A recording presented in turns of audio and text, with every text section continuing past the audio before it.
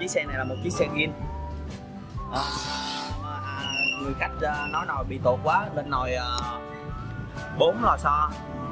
Bốn lò xo sắt và bốn. Để nồi gin nha. Đây mình sẽ test cho anh em coi nè. Rất là ngọt chắc rất là dẻo.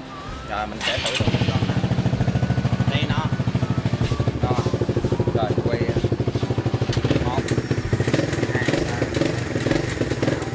sáu đó cắt rất là ngon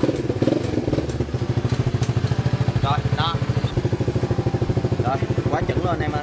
Mình thử thử một nè nè, mình buông ra nè. Anh em chú ý tay mình nè.